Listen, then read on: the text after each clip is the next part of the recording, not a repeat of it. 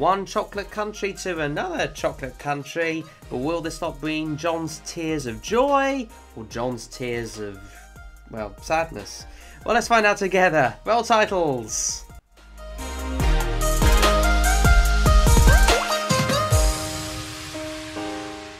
Good morning, afternoon, or even everybody! I am Jamie Joo, and welcome back to a brand new video where once again I react to another one of the entries in this year's Eurovision Song Contest.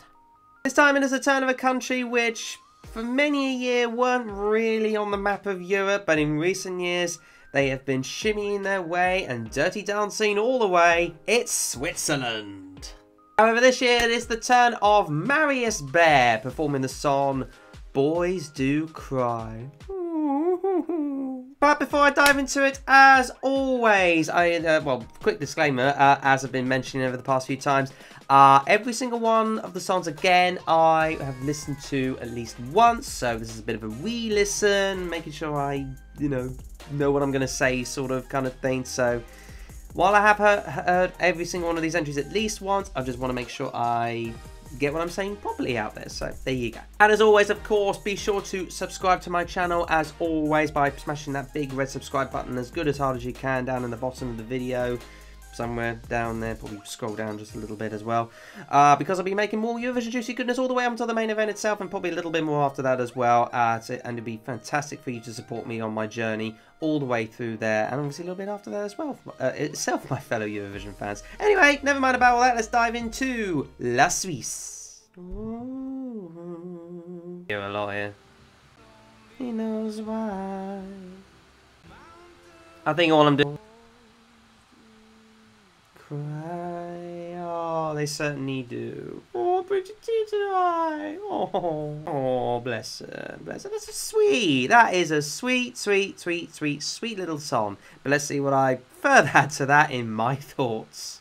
Yeah, this is a very, very, very nicely sweet song. It is heartbreaking at times. It almost makes you want to tear your heartstrings with its heartbrokenness. And it, well, boys do cry message. It is very sweet, very nicely put together, simple as well. I cannot really fault it too much. Got obviously the start of the element whereby it's nice and gentle with the piano, do do do, and obviously the vocals don't need to be powerful for this one. It's nice and gentle, like do do do do do do kind of thing, and uh, obviously telling a story about potentially that you know even boys and men to a certain extent do quiet things if things don't go their way.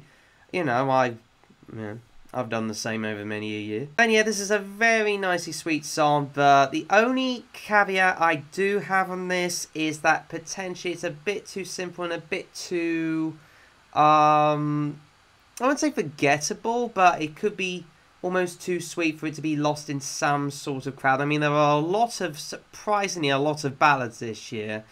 And yeah, I just fear this could get lost in a bit of a very big ballady crowd. But you know what? Honestly, I cannot see why this should not qualify whatsoever. I really like it. It'll tear a lot of heartstrings out, all the lights and everything.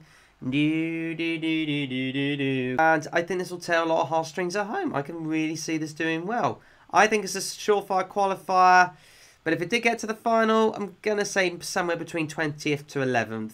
I can't see it getting past the top 10. But that doesn't mean to say it won't be you know, won't be deserved to get past the top 10 or anything else like that. Uh, if, if it does that sort of positioning compared to over the last few years, they'll still be laughing till the bank. You know what I'm saying? So uh, I think this would could do potentially well. May not as well as what they thought, but still at least to get to a final after many a year where Switzerland have been kind of down in the dumps is really, really good. Anyway, so about does it for this particular video, but never mind what I think. Please do let me know what you think down in the comment section below. Do you think it's a surefire qualifying, potentially a winner at that? Or do you see it not qualifying at all and bringing tears and more sadness to the country?